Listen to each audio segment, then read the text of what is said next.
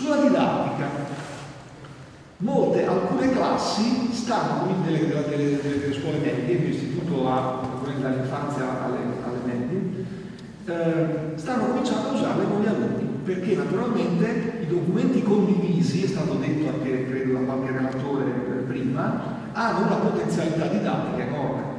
Eh, lavorare su un documento a più mani, creare una presentazione eh, con la, diciamo, in modo collaborativo con, con gli alunni che possono intervenire in aula da casa è veramente eccezionale. Tra l'altro le Google Apps versione Education offrono la possibilità di dare degli account limitati che quindi si possono assegnare anche ad alunni con età inferiore a 13 anni perché sono limitati al dominio della scuola. Cioè non possono inviare e ricevere dal di fuori. È come davvero quello che in, in, in, in terminologia anglosassone si chiama wallet garden cioè un giardino protetto ehm, in questo modo la familiarità è crescente sia per i docenti sia per gli alunni Forse questa sera non l'ho detto troppe volte banale, non l'ho detto una volta. Bene, sono tutte applicazioni banali, si parla di scrittura, ma è scrittura collaborativa, è un altro tipo di scrittura.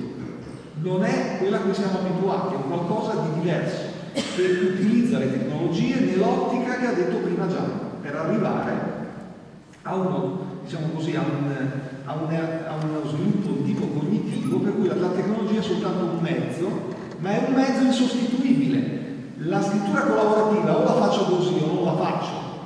In questo caso ho usato la tecnologia per qualcosa di non fattibile in altro modo e quindi è significativo.